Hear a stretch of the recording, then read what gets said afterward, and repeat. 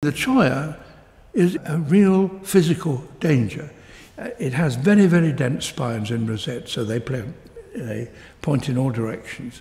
And if you just brush against it, the spines are like spicules of glass. I mean, they're that sharp, and they go into you, and you really, it's a devil of a job to get them out.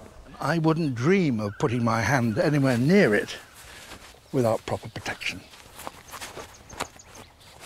Brush against it. This can happen. Ow!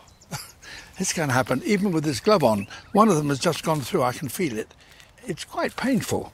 This is not pleasant at all. It won't come off without. Oh, look at that.